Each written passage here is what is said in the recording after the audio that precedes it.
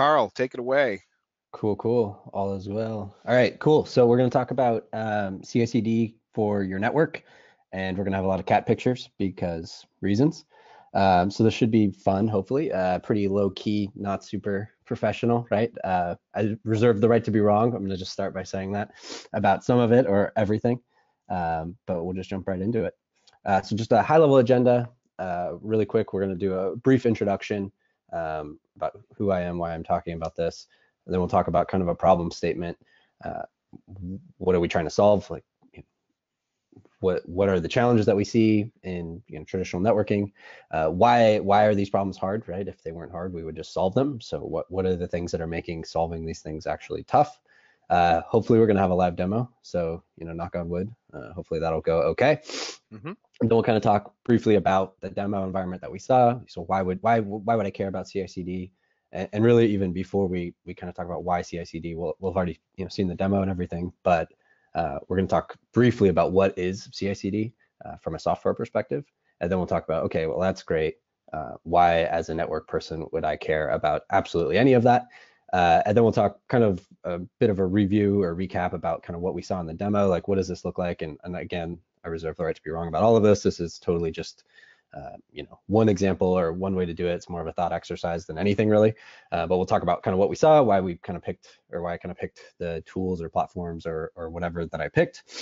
Uh, and then we'll kind of talk about how we can kind of supercharge that. What what can we bolt on to to this kind of uh, workflow or, or whatever you want to call it.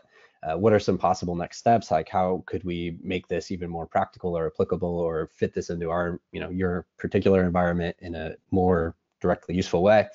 Uh, and then hopefully we're gonna have time to talk about a little bit of how to actually lab this up yourself. There's a GitHub repo for all of this, which I will show you in the demo. Um, so all of this is going to be you know publicly available. I'm, i think Drew and, and, Ethan already have links for everything, so I'm guessing that will be somewhere handy for everybody as well.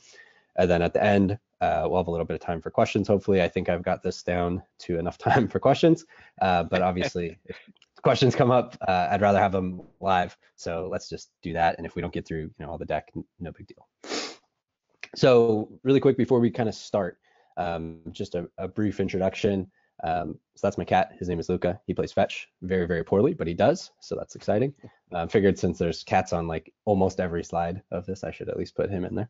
Um, my background is total just recovering router jockey, um, CCIE, service router, and route switch. Although I never really did a ton of service router stuff, but it was a fun little adventure to do anyway. Um, went pretty hard down uh, that route switch rabbit hole after military, big healthcare, consulting, um, and done a little bit of everything: pre-sales, post-sales, training stuff, creating content, all of that kind of you know fun stuff, whatever gets me paid. Uh, and then I and I, am I'm mentioning all of this only because I think it's relevant because I, I assume um, most of the Packet Pushers audience is probably, you know, generally normal network folk like myself. So I have no CS background whatsoever at all, um, but I still find all of this stuff useful and interesting. So that's that's that's the reason I'm really talk about that. Um, I kind of accidentally became a Python enthusiast, and now I'm wearing the shirt, so you know it's real, uh, it's official. Um, maybe five or so years ago, I started doing, or kind of even before that, I started doing a lot of data center stuff with uh, predominantly Cisco, just because Cisco partners uh, at the time, uh, Fabric Path stuff, and then into VXLAN, uh, which is multicast, and then EVPN.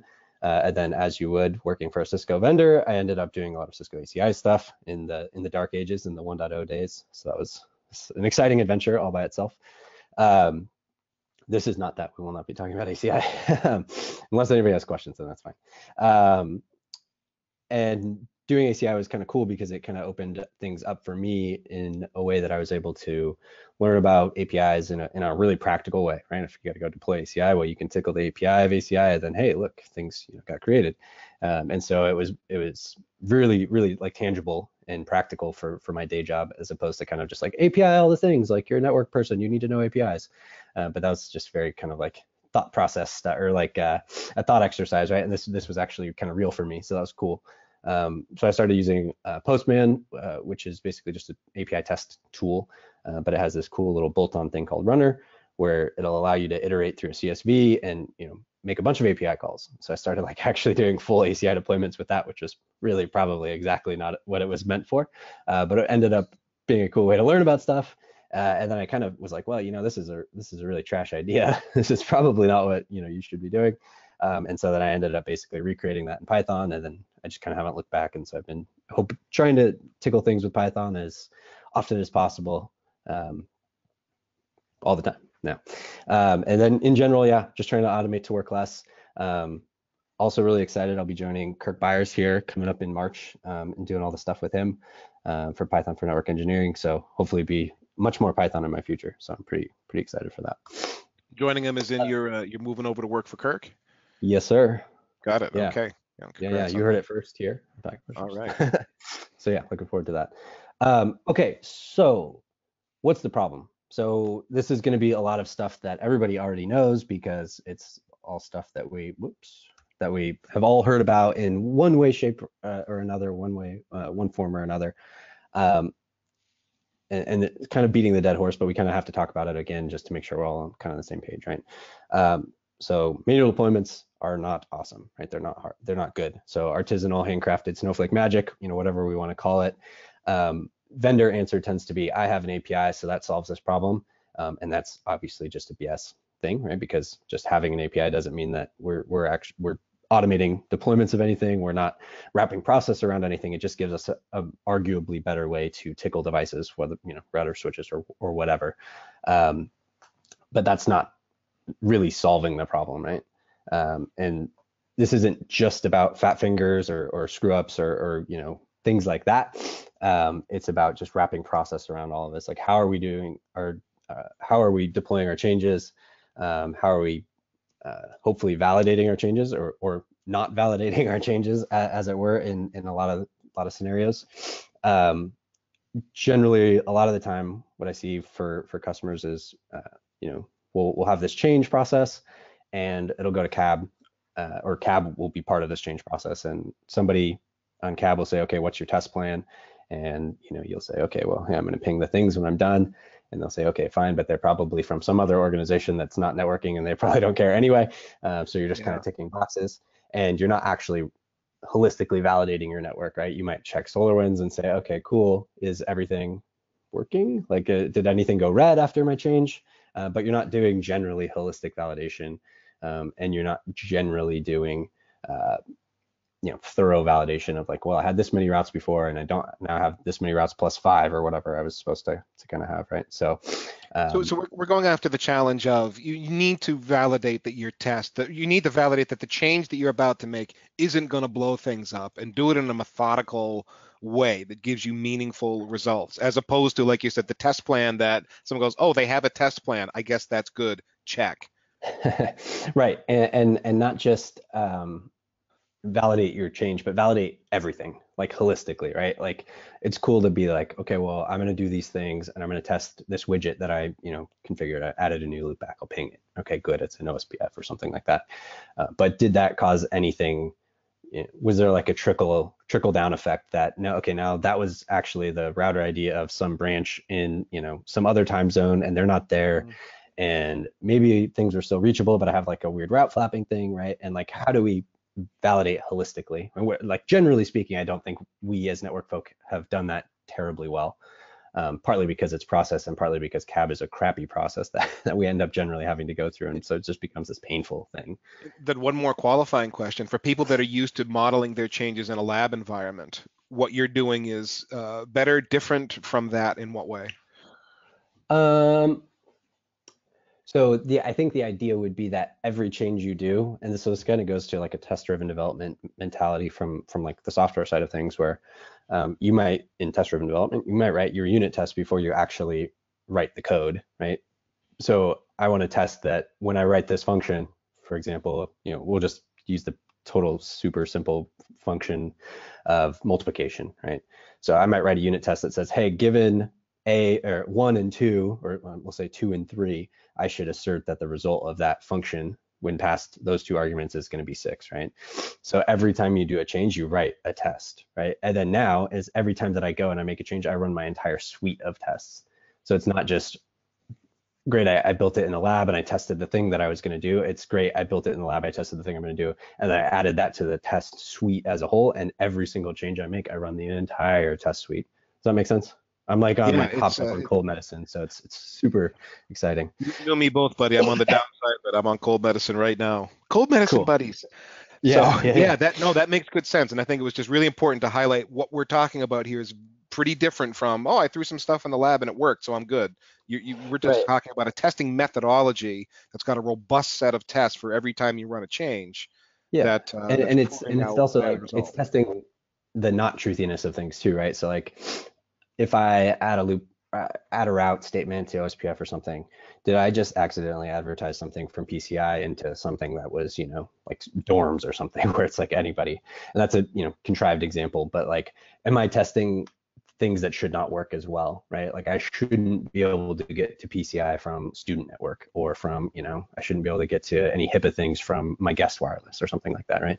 So not just testing all of the things are pinging as they should, but also testing like is your security working? Is all are all of these things working? This is obviously like a really like kind of uh, high and mighty place to try to get to, right? This is not like a thing that we're going to get to overnight or anything by any stretch, but wouldn't it be kind of swell if we could test all of the things all of the time? I guess is what I'm what I'm trying to say. And it's and it's a hard problem. Um, so hopefully by wrapping process around all of this, um, we can hopefully kind of push push ahead and and get better at that, I guess. Um, so so kind of next thing, so consistency is hard. Um, one of my pet peeves is that automation is not about speed; it's about consistency.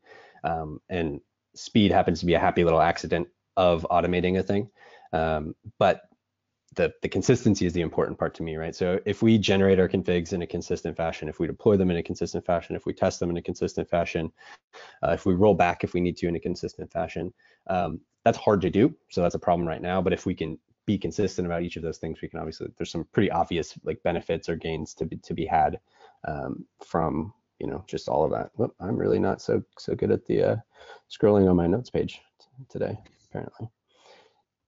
Um, anyway, and then uh, collaboration and transparency is lacking. So this I think is kind of a universal truth in networking, I guess I'll say. Um, it's just it, this is a you know we we kind of in the AMA it's just like oh it's layer eight problem and that's totally true right? And the the vast majority of the problems that we have um, are layer eight problems. Um, and it, and part of that is how do we get everybody on the same kind of page? How do we get everybody on an even playing field? And you know it's it's hard to do. So this this entire deck and this kind of like idea or this process isn't necessarily about technology. Sure we're, we're going to talk about like jenkins and ansible and whatever and that's fine. Um, but it's about how do we wrap all of this stuff into process um, in a, so that we could do things in a consistent fashion right? And this is hopefully going to kind of have the side effect of eliminating at least some of the layer 8 problems and getting everybody singing from the same sheet of music. Um, everybody's going to be able to be uh, aware of all of the changes that are happening because of maybe you know Slack integration or or something like that.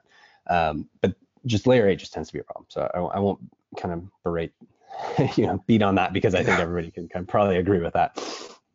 Um, okay, so I think hopefully everybody agrees more or less on the, the problem statements. Um, so why is it hard to actually get around any of these things or, or to kind of push through and, and kind of make progress in all of these? Um, the first one, too much noise.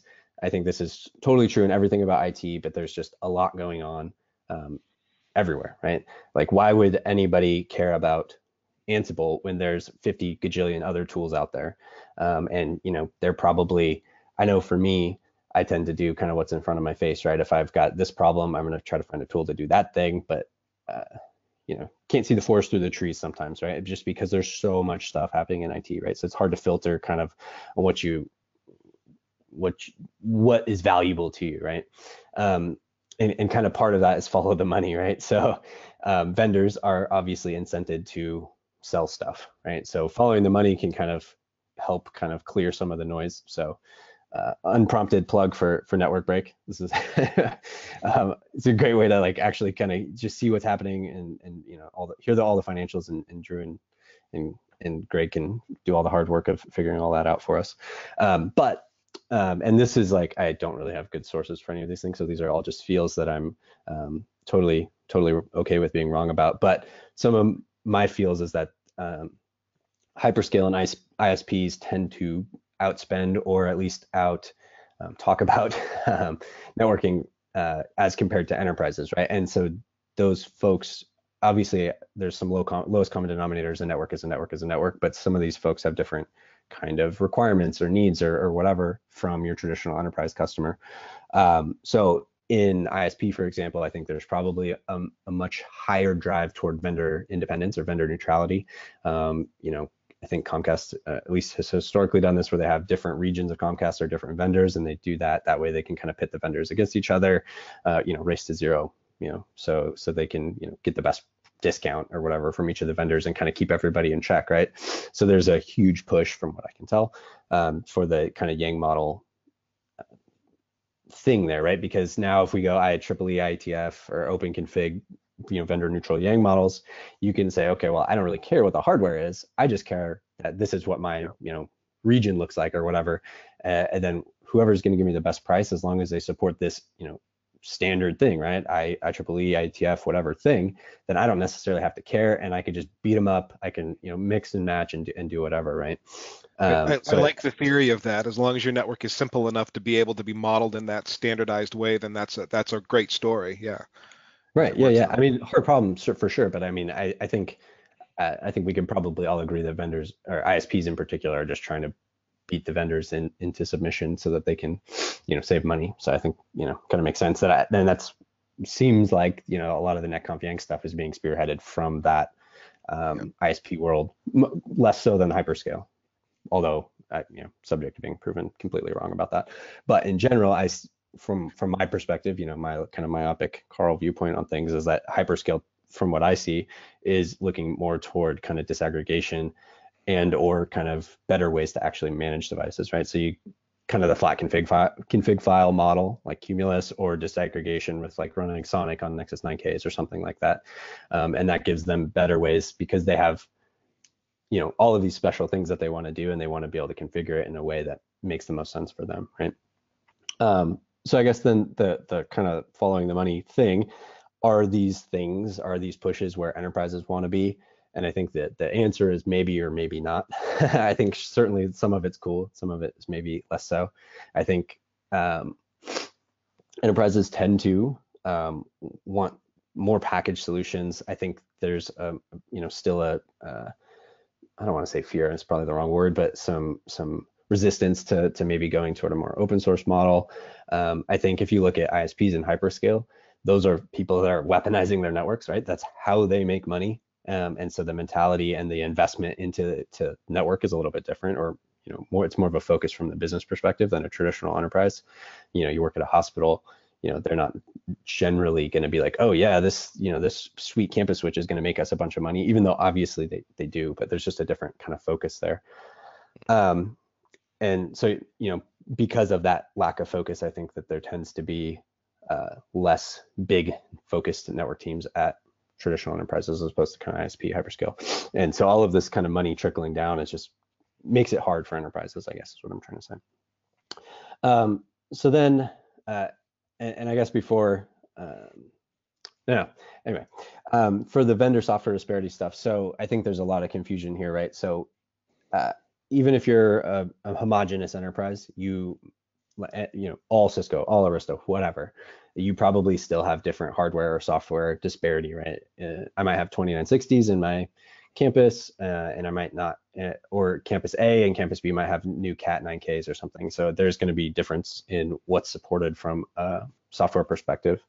Um, and then, you know, a lot of times people aren't homogeneous, right? It's a heterogeneous network, so there's going to be different interfaces to different, you know, devices, and how do I configure things? And obviously, all of this is just kind of making things harder for us to, to kind of standardize and automate against. Um, and then you know just kind of sticking to the vendor thing right? So juniper seems to have kind of jumped pretty fully on the netconf bandwagon probably because lots of isp stuff. That would make sense to me.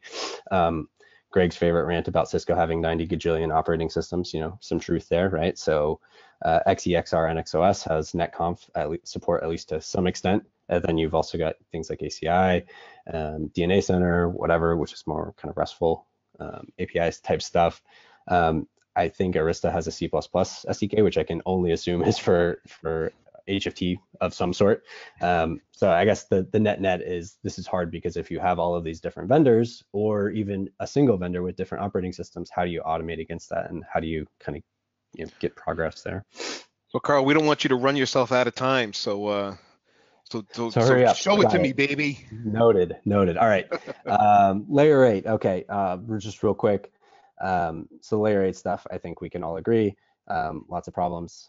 Um, just from a political perspective, I think one of the things about um, the layer eight thing is that there's a perception that the network is slow. Um, so obviously, if the network's slow, uh, it's hard to kind of get any momentum. And then obviously, in terms of like politics, you you might have organiz- organizations or groups within your organization that have um, you know skill set in Ansible or Python or Puppet or something, but you might not be able to kind of lean on that uh, expertise in house just because of the kind of politics. So net net, all of this is hard. Belaboring the point, you get it. Okay, so let's see what we got going on. So just real quickly here. Let's, um, so we have this little demo environment, um, and this is going to be available for everybody here on this um, this repo here, if I can get that out of the way. Um, so basically what this is, is a Vagrant environment that has uh, a Nexus 9000V and Arista VEOS box, and then also an Ubuntu server running Jenkins. Uh, and basically Jenkins is going to point to this repository and um, the Jenkins host already has a Docker uh, container image already built on it. And so basically what's going to happen is when we trigger builds from Jenkins, uh, and that could be done via webhooks or whatever, but for now it's just going to be a manual kind of trigger the build. Uh, this repository is going to get cloned into the, the Docker container, and Jenkins file is basically going to define what Jenkins should do, right? So the Jenkins file is kind of going to be the process, or is going to be what wraps this all of these like kind of individual playbooks and scripts up uh, into a process and deploys all of this stuff. Uh, so just real quickly, uh, earlier before the demo, I just vagrant up uh, in my environment and, I, and all my stuff kind of came up and I, I ran the build. And so then if we go here, we can go and basically look at all of the output from this, the build that got triggered. Uh, so basically what we can see here um, briefly is that Jenkins, uh, upon triggering the build, fires up this my network as code Docker container. Uh, inside this container, it's going to clone this repository. And then basically we run through um, this pipeline file that basically is going to define all of the steps that Jenkins needs to take. Now, the idea is that we're doing, quick clone the repository. You said that for people that don't know Git at all, you're just taking a copy from that repository you've got up in GitHub, bringing it down locally. So now you're working off a local copy of all that data, correct? Yep, exactly, exactly. And then what what's cool about this is that uh, all you have to do in Jenkins is point it to this repository and then and basically say, hey, for this build, you need to look into this repository and there'll be a Jenkins file. And this is a kind of common convention thing with Jenkins. And so it'll clone this repository, look at this file and say, oh, these are the steps that I need to run. So basically, hey, use this container, um, check out SCM, so check out source control manager or management, which is basically say, hey, clone this repo. Uh, and then as we're gonna we're gonna kind of move ahead and talk about CI/CD stuff, but basically what's gonna happen is we're gonna run all of our unit testing stuff, right? So CI is continuous integration. So this is how do I test all my code as it's happening. So in networking, you know, that might take a couple different forms, but for now we're just going to run syntax checks against our play, all of the playbooks that we need to make sure that hey, they're all looking good. Um, you know, nothing's going to be broken. That way, when we get to if we you know generate configs and that works, and we backup configs and that works, and we deploy configs and that works, and then our validate playbook is broken, um, you know, that would be a bad day, right? So we want to check that Mm. the, they're all valid before we go anywhere. Um, we can run a really simple hokey Python script that I wrote to just basically validate user inputs. Um, and so this is basically validating the inputs that I'm putting into the variable files that Ansible is pulling from. And so I'm validating some really hokey stuff like, hey, that's a valid IP address. Um, it's a valid VLAN ID, right? 4097 is not a valid VLAN ID. Um, and this is, again, kind of for purposes of a demo, kind of a hokey way to do it, but that's okay. And then we basically, using Jinja um, and Ansible, we generate configurations files from templates. Uh, then we connect to our devices and we back up those configurations. Um, that way, if something goes wrong, we can you know safely roll back to wherever we were at. Uh, then we go and we deploy our configurations, and then finally we we validate our configurations. And this is not what I would recommend doing in production, uh, but this is a quick way to do it. So we basically just sleep for a minute to let BGP OSPF come up, all that's good, uh, and so, then we run a validate playbook. I mean, this is interesting because what, what what really has happened here is you've taken what a human being does, what a network engineer does, and it's now been automated and it's been put in a a way that is very replicable. You're going to do it the same way every time, whereas you as a human exactly. might, depending on how much cold medicine you're on, uh, miss a step. you know, yeah. this script that you've written is never going to miss a step. And so you, once you've got this built in a way that it's testing all the things that you want to be testing for your environment, you will have a high degree of confidence that uh, the change that you're putting through is going to work or is not going to work if the testing fails, if things don't work out or validate the way you need. Exactly. So this is really kind of wrapping a bunch of things up, right? This is kind of infrastructure as code. And now I'm administering my network from Ansible config files. This is CI/CD, right? Wrapping all of this up in process from Jenkins. This is um, consistency, which I guess is just kind of all of that because we're we're building and deploying from a container. So our container image is obviously the same. So every time the container starts, um, and then exactly what you said, right? We're wrapping the stuff that we as humans would do in process that is you know automatable basically. Mm-hmm. um, so this is basically what happens so we, we run our syntax checks great life is good. If any of these things fail the build fails right? And we'll we'll see what happened in the log here um, in the in the jenkins log. Um, we validate some user input so we just run this hokey python script to test you know ips and, and whatever um, we back up all of our stuff. So in this case, we're backing up the configurations and it, it, just gets backed up to the container. The container gets nuked at the end of the build anyway. But so in real life, you know, you could copy these off to an S3 bucket or, you know, do whatever makes sense. Uh, and then off we go and we do deployment. We actually go and use um, Napalm Ansible to actually go and replace the configurations. So um, one of the things that we haven't really talked about is kind of merge versus replace and atomic commits and all this other stuff, which is probably way more than we have time for. Um, but basically, um, we can just wholesale replace the configurations on these two devices. Uh, that way, you know, if there's a description on loopback whatever, and I wanted to delete that description, you know, as a human, you would log into the device and say, you know, no description or set the new description. Um, but if we do a merge operation and we're not knowing out the the description in the merge, then we're going to miss that. So instead of dealing with that and trying to trying to figure out the state of these devices, we're just going to wholesale replace configurations uh, using Napalm. And so Napalm gives us a consistent way to do that across multiple vendors. Um, Nexus. Napalm being a, a library that is uh, available for Python that abstracts exactly. away a, whole bunch of different devices, as you say, gives you a common interface to several different network device types. Yep, exactly, exactly. And so then in our case, we're actually using the Napalm Ansible module. So it's basically just kind of a shim between you know pure Python Napalm and, and Ansible. Um, and we're kind of picking on Ansible just because it's a low kind of barrier to entry. Um, and then basically what's happening, um, kind of the, the testing part. So we'll talk more about this in a minute, but the testing part is obviously great, and we want to test our syntax and and all of that kind of stuff, validate inputs and all of that at the front end. But then from a validation and and writing these unit tests that test every single bit of our functionality. Uh, I wrote some really hokey Ansible playbooks that I don't necessarily recommend you use or even use uh, Ansible to do this. Um, but basically, we check to hey, is the peer on this interface up? Is the peer on this interface up? Is the BGP yeah. peer up? Do I can I ping this thing right? So these are you know this this repo is public, so everybody can go and, and check it out. Um, but basically, these are just playbooks that go and test each and every single one of these things that I want to do. So if I wanted to add a loopback interface, um, uh, packet pushers VDC. There we go. Uh, if I wanted to add a loopback interface, I could go to the to the host variables file, and this is common Ansible syntax if you're unfamiliar. And I could basically say, hey, add a loopback interface right here. Um, some of this is kind of some some you know, keys and values that for the templates that I created that are you know kind of one off. But basically, what I could do is I can add a you know loop back here, and then I would want to go ahead and I would want to write a test to validate that that is actually doing what it's supposed to be doing. Um, so in this case, I can say, well, this is my test. The BGP peer is up, and I can just run show IP BGP neighbors. And if I you know don't see established in the output, then I know that this didn't work, right? Um, or I can just run a simple ping that says, hey, yeah, that's working from you know the, the Docker container or from you know one of these devices.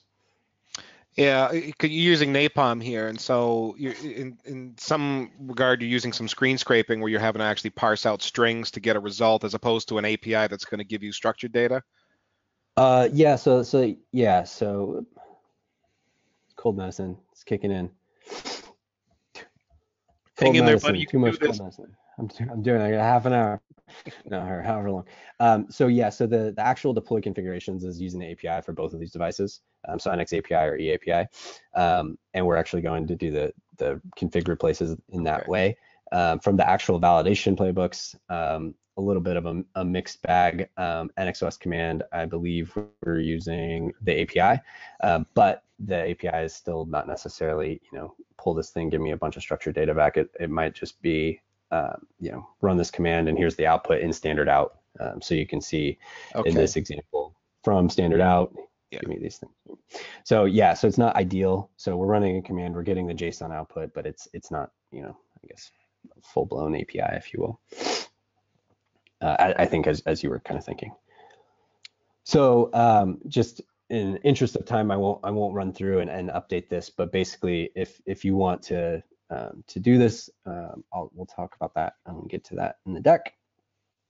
Uh, some context here. Uh, you know, as you're looking at everything you just showed us there, with that, it looks like I would be running that against a live environment in real life. Or yeah, so yeah, so it, it depends. Um, it, obviously, for the demo, it's just the the two boxes in Vagrant um, that are up. Um, so you might model a Vagrant environment to, to emulate your thing. You might do this against, uh, you might have a multi-stage kind of pipeline that's going to validate this against something like VIRL or UNetLab or GNS3 before and, and then test it there. And if all of that goes well, uh, then you might go and have the uh, like a gated uh, thing in Jenkins that says, okay, this is the results from deploying this to dev, you know, big red button, go ahead and deploy it to prod. Uh, or you might be, you know, deploying this to prod and, and running all of your changes through this um, kind of pipeline. I, I, obviously, that's going to depend on hugely on okay. organization and kind of where you're the at. Point being, you can use it against your lab environment. You can use it against a, a test environment, and you can also use it against a live environment, all absolutely. your prod environment, all depending. Yeah, absolutely. And and one way to kind of maybe do that in a really simple way would be you might just have different inventory files for different environments. So you might have a, a GNS3 lab or a Virl lab or whatever, and you would have you know Ansible inventory file for lab and then you have a you know another inventory file for prod or something like that. Um, so it could be the same playbooks, it could be the same pipeline, it can be a lot of you know similar stuff, so you don't have to do a bunch of rework. Um, okay, so what are we even talking about with CI/CD? Um, so that was you know kind of whirlwind demo, um, cold medicine, all that good stuff. Um, but CI/CD is continuous integration, continuous delivery, and, and possibly also continuous deployment. And so this is really a software kind of development methodology. Um, again, this is all process. It's not necessarily a tool or technology or anything like that. Um, but the net net is that continuous integration is its entire purpose in life is to identify issues as early as possible. So in software, that's you know identify bugs, right? So continuous integration tests might be something like compile your code, right? If you're running uh, writing in a compiled language and your code doesn't compile, then you know obviously you're not going to get very far. Uh, we might also do some linting or formatting. We might run unit tests or integration tests to make sure that you know all of these things are functioning as you know desired or expected or hoped. Um, and then at the end of this would be at the end of this CI process, we would hopefully have an artifact that can be delivered somewhere, and that's you know maybe compiled code or a new Docker image or something like that. Uh, at that point, we could move to the CD portion, right, continuous delivery, and we could take that artifact, whatever that was, and deploy it somewhere useful.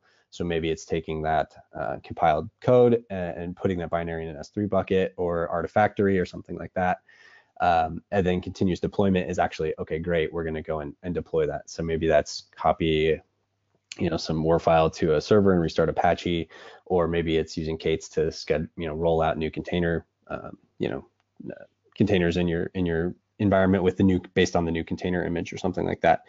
So why would we care about any of that from a, a networking perspective? Um, well, I think for the most part, just a, at a process layer, I think this stuff makes a lot of sense. Um, because it doesn't necessarily the the whole idea of CI/CD isn't necessarily about software. Uh, certainly, it's applied to software, but it's just process, and so we could apply that process to kind of whatever we want, and we can get some pretty obvious benefits. um, we could reduce human interaction. Uh, we're not going to be able to necessarily eliminate human interaction, of course, because we're still building and designing networks, and we need to, you know, know what IP address is going on something. But we can eliminate the amount of touch points, right? So in the example of this demo, if I wanted to add a loopback, I simply go to a variable file and I say loopback 10, here's the IP address. So I didn't actually log into a device, right? And then in this case, there's a Python script that every field that basically is an IP address or says IP for the, the key uh, is going to be validated to make sure that it's a valid IP address. Everything that says VLAN is going to be valid, validated to make sure it's a valid VLAN.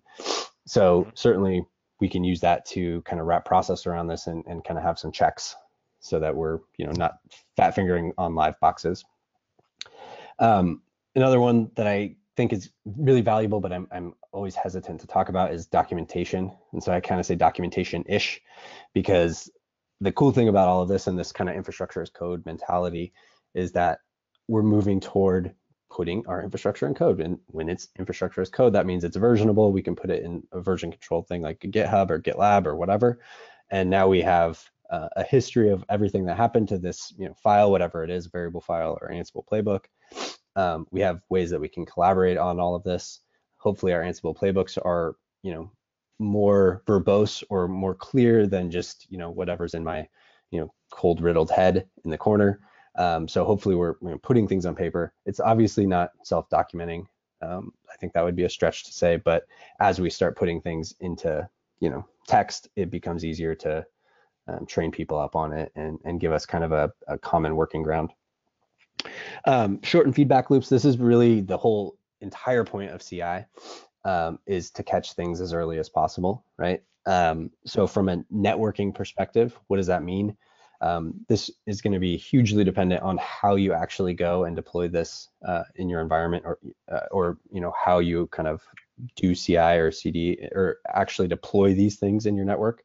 Um, so one thing that we could do would be formatting and linting. So just like in software, right? If we're writing Ansible uh, playbooks or we're writing Python scripts to actually go out and tickle our network, uh, we could actually run linting checks against those to just make sure that they're in a, in a nice format that meets our you know company company guidelines. Um, so literally just exactly like software. Um, we might do some checking for things like uh, route map names, ACL names, prefix list names, blah, blah, blah, blah, blah, to make sure that the variables that we're inputting meet our company standard. That way, uh, you know, uh, if everything's consistent, then it's going to be easier to automate against everything. So we might be able to do that. Um, just like in this kind of hokey example, we might have a script or some way to validate user inputs for IPs and VLANs to make sure, you know, 4097 again is not a valid VLAN. Um, we might have, and that could be something like a unit test for for networking. Excuse me. Ugh. Um, we might also have integration tests.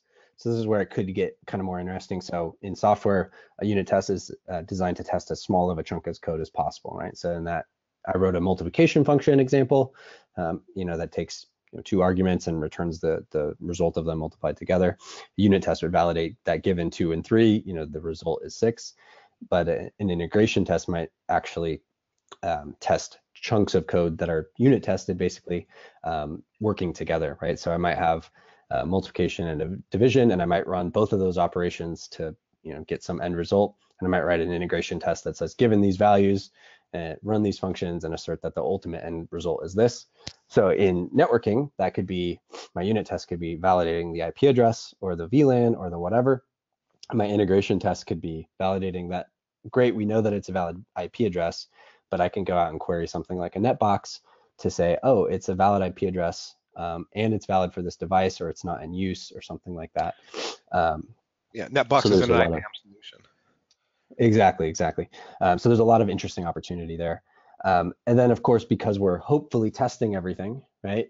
Um, I can automate rollbacks if any of my, you know, uh, configs failed or, or didn't work. And okay, automated rollbacks, right? If something doesn't work, you'd want to roll it back, but does that, so a question came in from uh, Evan, does the CI/CD framework assume that you've got a separate out-of-band management network? Because it would be pretty hard to roll back if changes blow up. Yeah, certainly. Connectivity. Certainly. Um, so that's the Jenkins in this case, which is really kind of our CI/CD tool of choice, is, is really indifferent to all of that, right? So it would be incumbent on us to build you know things in a way that we're able to still get to devices, of course. Um, in the the lab example, you can kind of nuke everything because the management port is hard coded in the in the config files, uh, and obviously we're going to be able to get to it from Vagrant, so that's easy. Um, but no, CI/CD or Jenkins or Ansible or any of this isn't going to kind of save us from ourselves in that. But the net the hope would be that we would be um, operating in this framework that's tested and validated before we kind of take this to production. I don't know if that necessarily answers the question, but but the short answer is no. um, but because we can test everything, we can roll back, right? And so hopefully when we um, unless we nuke our management VRF or whatever. Hopefully, we really have out of band management, uh, and then this is a you know much less of an issue. Um, but assuming we still have access to the devices, we can roll back. Um, we can do a lot more testing too than than what we've kind of talked about in here. Um, I think we'll talk about that a little bit more in the next page. Um, Time check for you, Carl. You're running up about five minutes left. Okay, cool. Um, and then finally, transparency. Everybody would be able to see kind of what's happening through the logs that we saw in Jenkins. So that's that's cool. Um, CI logs are, are much much better than human memory. So I only had the one build that I built earlier today, but we would have you know lots of uh, we would have a history of every build that ran, and we would be able to go and see kind of at a point in time what happened. Hopefully, we're integrating this with Slack or you know whatever our, our chat option of, of choices. Um, that way everybody can kind of see what when builds are happening and why they fail or, or what happened. Um, and basically the net net is hopefully this is all done in the open so that we're kind of getting everybody on the same sheet of music as it were. You, you kind of have to be with this. You can't be a cowboy and run a automated environment successfully. Everybody's got to yeah. be using the same tooling and seeing what everybody else is doing. Absolutely. Um, so what does all this look like? Obviously, we saw really, really quickly. Um, hopefully, everybody's going to have the opportunity to, to actually demo this, which we'll talk about. Um, but in this example, we're using GitHub for our um, version control platform of choice. This could be whatever you would like. Um, again, we're just using GitHub. Uh, we're using Ansible for basically most things, right? Ansible playbooks to generate configs from templates. We're using Ansible playbooks to actually do the validation um, and to do the deployment. And that happens to be using Ansible Napalm, which I'm a big fan of. Um, we're using Jenkins, and really we're not using Jenkins for a ton. We're using it kind of for glue to stitch things together. Run this script. If the result is non-zero, meaning something bad happened, then do this. Otherwise, keep going on. So, so that's really all we're using it for. Um, this could take a bunch of different forms, um, obviously, but that's what we're doing.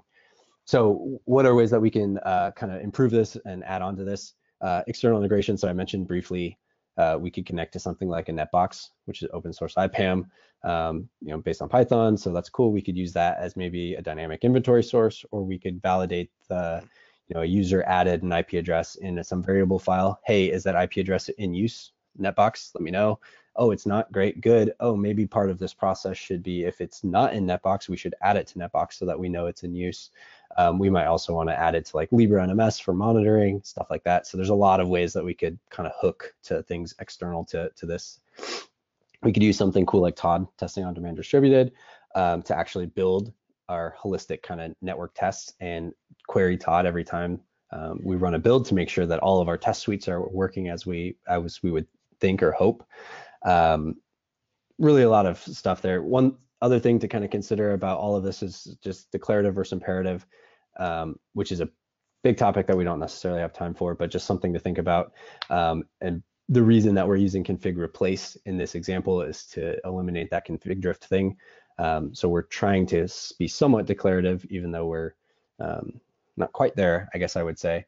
Um, but it's much more declarative than a very imperative playbook that says interface blah, configure blah, interface blah, configure, you know, description. Um, so that's an entire other topic. Uh, something we didn't talk about at all is kind of session state, and that kind of goes into the whole netconf conversation as well. Um, but the net net is there's really just an unlimited amount of kind of upside to this, so you can kind of you know experiment and see what works. And then just real briefly before any questions, if you want to lab this yourself, um, all of this is in that GitHub repository. You the the README's relatively um, verbose. So basically install VirtualBox and Vagrant. Um, you can get the boxes from the Vagrant box repository. Um, it's under my name. There's links and stuff like that. Um, once you get it, you can Vagrant up, and basically Vagrant will fire up the NXOS box, the VEOS box, and the Jenkins box. Um, I'm running this all on my MacBook, 16 gigs of memory, and it gets a little dicey. um, but it should work for most people. So hopefully it's pretty accessible. Um, and then you can fork the repo um, and do whatever you want with it. Um, connect to Jenkins. Jenkins is already kind of set up initial config for you. All you got to do is log in and point it to your repository. And you can click build and the base boxes have nothing really but a management IP address and Vagrant SSH keys and stuff like that. Um, and, and, then so if you basically point to the repo, click build, you'll be configured um, some really basic stuff, just like two routed links, OSPF, BGP, whatever. Um, and then you can go ahead and start adding, you know, tests or, or add things to the variable files so that you can actually start configuring more stuff like that. Um, and just kind of see what's going on with all of this. So that was that was kind of the intent is to make this, you know, accessible. So so Carl, we've got one one cynical question uh, here from Krunal that I think is really worth asking.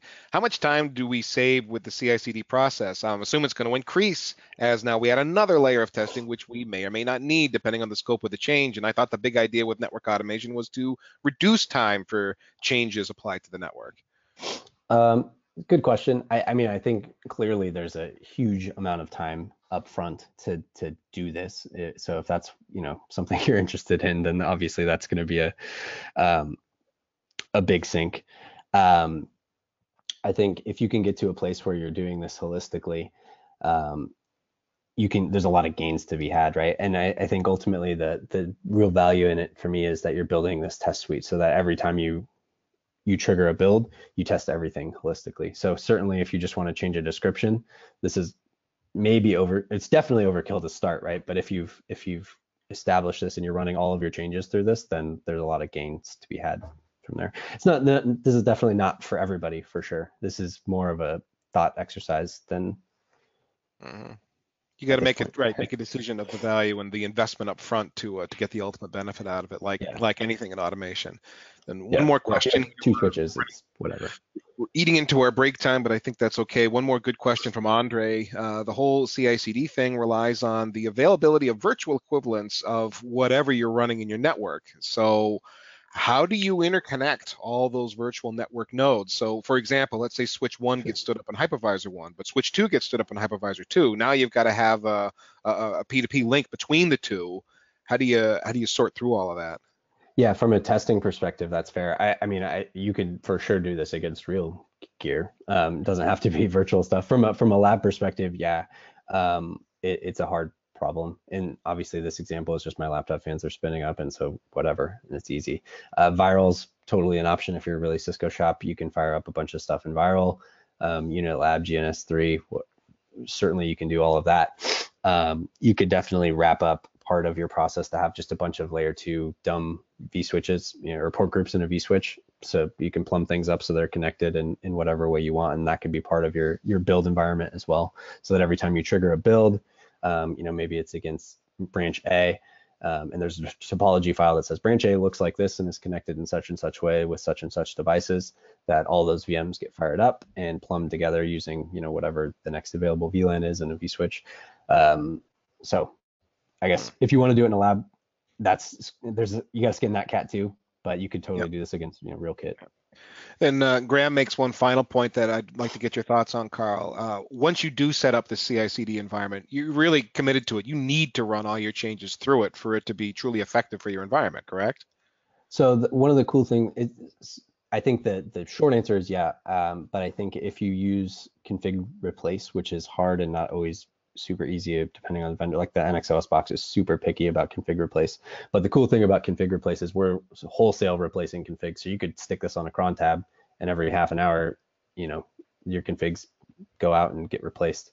Um, so if you had, you know, some kind of somebody being a cowboy running and configuring things not through this, you could easily um, enforce the desired state with this. Um, hopefully that makes sense. But yeah, the net net is you would probably want to use this holistically.